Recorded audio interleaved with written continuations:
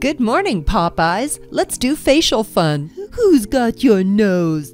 Just try blowing it out like a piece of swamp drag. First of all, this is not sustainable. Secondly, if your eyebrows want to leave, let them go upstairs.